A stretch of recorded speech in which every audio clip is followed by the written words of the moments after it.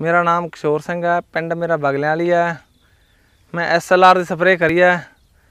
ਤਿੰਨ ਮੁਰੱਬਿਆਂ ਦੀ ਮੈਂ ਖੇਤੀ ਕਰਦਾ, ਇੱਕ ਮੁਰੱਬਾ ਨਰਮਾ ਮੇਰੇ ਕੋਲੇ। ਵਧੀਆ ਨਰਮਾ, ਕੱਚਾ ਖੜਾ ਹੈ। ਨਾ ਕੁਛ ਨਹੀਂ ਫੰਗਸ ਫੁੰਗ, ਚਿੱਟਾ ਮੱਛਰ ਦੀ ਬਹੁਤ ਘੱਟ ਹੈਗਾ।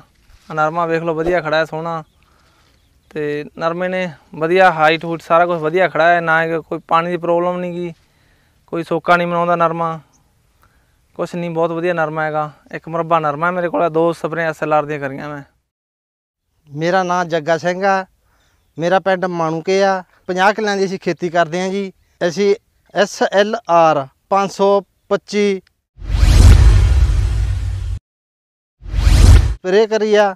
ਦੋ ਵਾਰੀ ਸਪਰੇਅ ਹੋਈ ਆ ਜੀ ਸਾਡੇ। ਇਸ ਵਕਤ ਸਾਡਾ ਨਰਮਾ ਵਧੀਆ ਜੀ। ਤੇ ਵਧੀਆ ਰਿਜ਼ਲਟ ਆ। ਵਧੀਆ ਕੁਆਲਿਟੀ ਆ ਦਵਾਈ ਦੀ। ਰਿਜ਼ਲਟ ਵਧੀਆ ਮਿਲਿਆ ਜੀ। ਫਸਲ ਸਾਰੀ ਵਧੀਆ ਜੀ। ਖੜੀ ਆ। ਕਿਉਂਕਿ 50 ਕਿੱਲਿਆਂ ਦੀ ਖੇਤੀ ਕਰਦੇ ਆ ਸਾਰੀ ਸਾਡੀ ਫਸਲ ਵਧੀਆ ਜੀ।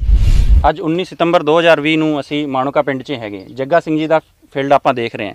ਤੇ ਤੁਸੀਂ ਦੇਖ ਰਹੇ ਹੋ ਇਹਨਾਂ ਨੇ ਦੋ ਵਾਰੀ ਐਸਐਲਆਰ 525 ਦੀ ਸਪਰੇਅ ਕੀਤੀ ਹੈ ਤੇ ਆਪਾਂ ਦੇਖਦੇ ਹਾਂ ਵੀ ਇਹਨਾਂ ਦਾ ਨਰਮਾ ਜਿਹੜਾ ਹੈਗਾ ਬਿਲਕੁਲ ਹਰਾ ਭਰਾ ਲਸ਼ ਗ੍ਰੀਨ ਹੈਗਾ।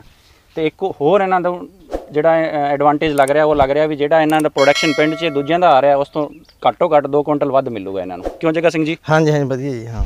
ਅੱਜ 19 ਸਤੰਬਰ 2020 ਦੇ ਦਿਨ ਆਪਾਂ ਖੜੇ ਹਾਂ ਜੱਗਾ ਸਿੰਘ ਜੀ ਦੇ ਖੇਤ 'ਚ ਤੇ ਨਰਮਾ ਤੁਸੀਂ ਵੇਖ ਐਸਐਲਆਰ 525 ਦੀ ਦੋ ਵਾਰ ਸਪਰੇਅ ਕਰੀ ਹੈ।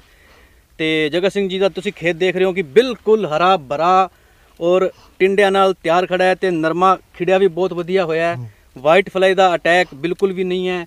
ਨਰਮਾ ਬਿਲਕੁਲ ਸਾਫ਼ ਸੁਥਰਾ ਖੜਾ ਹੈ। ਜੱਗਾ ਸਿੰਘ ਜੀ ਆਹੀ ਗੱਲ ਸਹੀ ਹੈ ਬਿਲਕੁਲ? ਹਾਂਜੀ ਹਾਂ। ਤੁਸੀਂ ਹੋਰ ਕੋਈ ਗੱਲ ਨਵੀਂ ਕਹਿਣਾ ਚਾਹੋਗੇ?